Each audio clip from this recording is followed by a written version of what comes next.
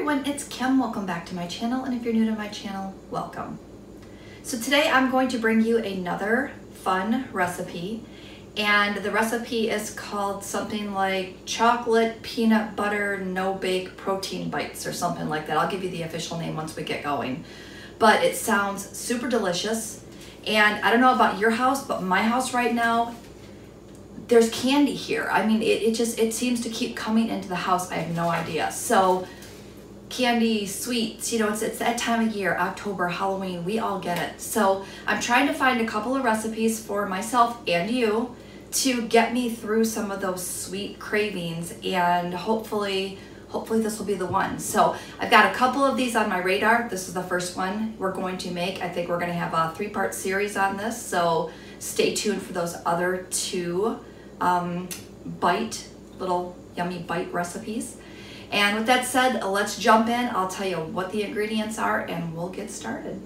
Okay, so for today's recipe, we're gonna need two scoops of a protein powdered drink mix. So I'm gonna use my Quest chocolate protein, eight tablespoons of powdered peanut butter, one banana, two tablespoons of water, a pinch of kosher salt, one cup of quick cooking rolled oats, and three tablespoons of almond flour. And in my case, I don't keep almond flour, and for three tablespoons, I'm just gonna use plain all-purpose flour.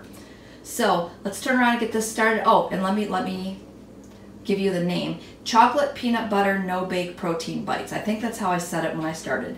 Now I did get this recipe from the Weight Watchers site and I'll link that below so that you can pick up a copy of this for yourself and it makes 20 protein bites and it's only one smart point. So you can't go wrong with that one smart point little treats. So uh, let's get started. Let's get this stuff in. You also need to put this into your food processor. I was going to use my NutriBullet today but I was a little worried that it wouldn't fit and it wouldn't the dough wouldn't come together. So I pulled out my favorite KitchenAid um, food processor today. So we're going to use that and get this recipe pulled together. All right, it also says that you can put it in the fridge for up to a week or you can freeze it. So if you want to just make a full batch, it also says you can make a half batch. I'm going to make a full batch because I plan on sharing these. So let's get this pulled together. The first thing we need to do is we need to pull together our protein powder, seven tablespoons of the powdered peanut butter, the banana, water, and salt.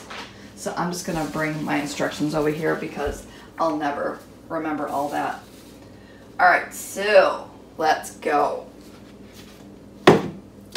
First thing, two scoops of protein powder. And I really like the Quest. It's one of my favorite go-to protein powders. I've tried a couple of them, you know, a couple other brands out there and I keep coming right back to the Quest. You can pick up the Quest, I always get asked this, you can pick up the Quest either on Amazon or one of your local vitamin shops. Um, GNC used to carry it. I haven't had luck finding it there, but I did have one of my members in my workshops at Weight Watchers tell me that they found it at GNC, so take a look at your local shops. Um, again, it looks like this, just in case you're wondering. I like the chocolate. I really like the vanilla milkshake. That's one of my favorites too, so I always keep that on hand. All right, so the next thing we're gonna throw in is seven tablespoons.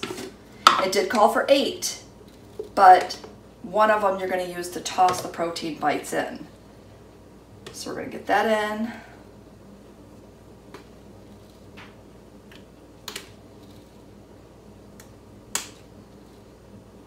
Tried to shake it to where it just kind of gave me an even. I was afraid if I scooped it and then pushed it up against the side that it would be packed.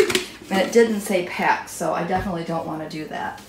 All right, next thing, one medium banana ripened. This is a little bit larger than a medium, but we're gonna we're gonna go for that. I'm gonna bring you in closer because I think that might be a little better for you. There we go.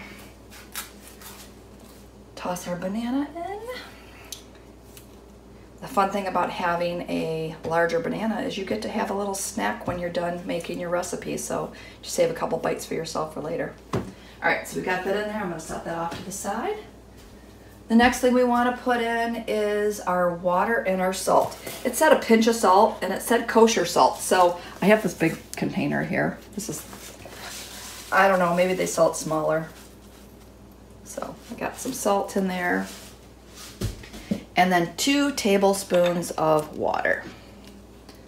So that's one and two.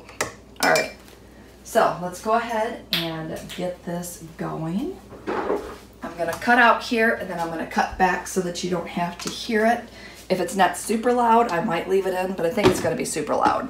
So just to make it easier on you, well, um, we might wanna plug it in. That might, that totally might help. All right.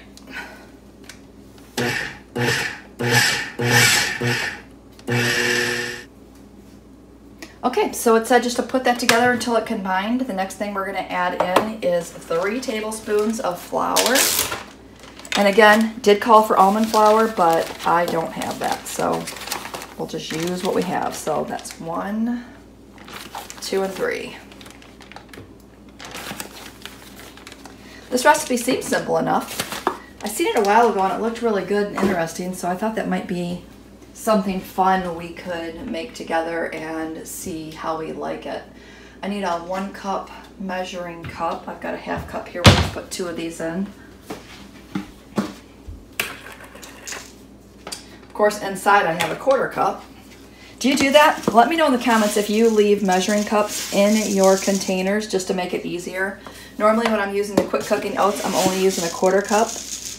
Um, in my old-fashioned oats, since I use three, I'm sorry, a third cup, I always leave my third cup in there. So yeah, I, I actually buy extras just so I can leave them in my containers. It just, it really, it really helps me out. All right, so put these in and then pulse until it forms a ball. I'm not sure how this is gonna form a ball because it seems pretty dry, but we're gonna, we're gonna go with it. All right, I'm thinking we need more liquid. What do you think? It did say two tablespoons of water.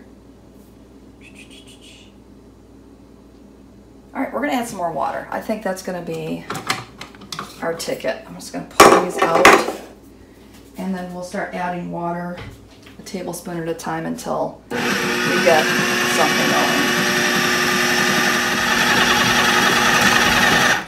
All right, that worked. Spilled a little water on my counter. Did you guys catch that?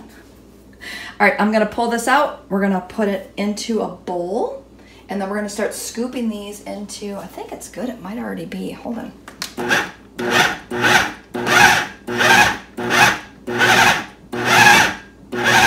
All right, we'll just scrape it out if it's not all together.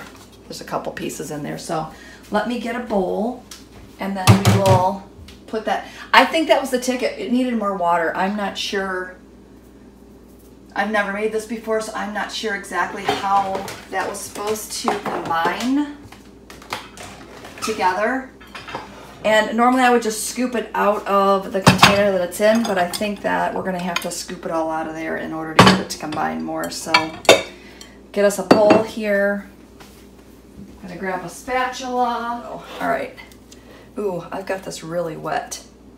I may have to add some more. Hold on, let me see if I can fix this real quick without adding a ton of points into our mixture. It's always a guessing game when you're cooking, right? And if I was perfect all the time, you guys would think that I was filming recipes four or five times just to get them right, and you know I don't do that. All right, so put this back on. This is, this, this is turning out to be a lot longer than I intended. I expected this to be coming, just to kind of come together super quick. But you know, not my luck today. Ooh, I could smell, you, you could really smell that banana in there. That's funny, it's not the smell that I expected. It's not that, you know, the first smell that I expected to kind of hit me in the nose. Okay, so what we're gonna do next is we're going to scoop these out of the bowl into one tablespoon balls. We're gonna add in our one tablespoon of powdered peanut butter into this bowl. We'll see how far that goes. And then we're just gonna go ahead and scoop one tablespoon They won't be perfect, but that's okay. I'm not looking for perfect. I'm just looking for something that's going to taste good to get rid of that sweet craving. So I'm just going to go ahead and scoop this in. And I'll see how many I can get this bowl comfortably and then I'll come back. Okay, so I've got those scooped into balls. I have eight in my container and then I have another 14. Had to think about that. 14 on my plate. We actually got 22 out of the batch. So I'm going to be confident saying that I did not change the points on this.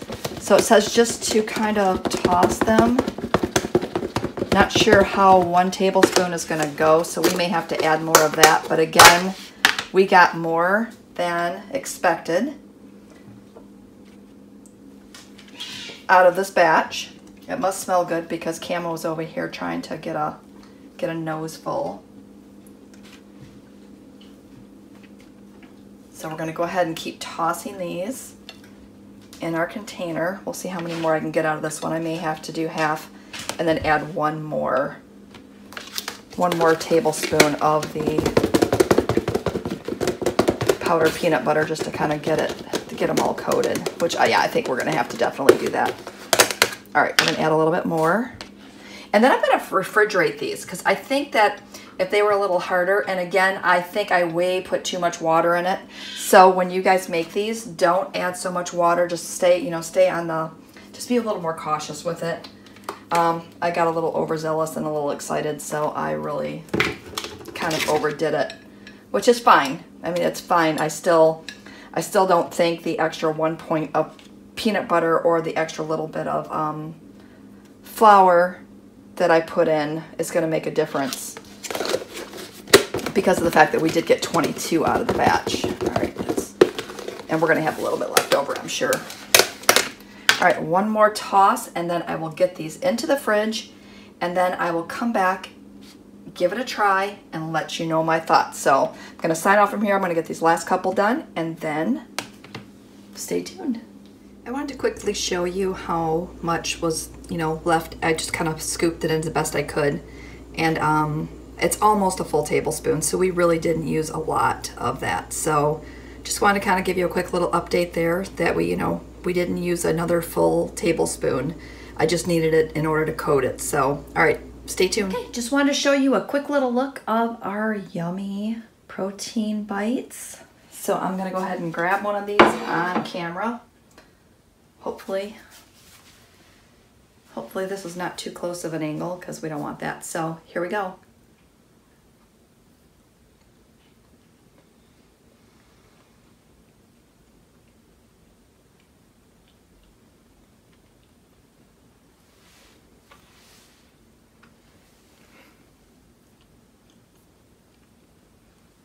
Okay, hopefully I don't have food in my teeth because I'm afraid of that all the time.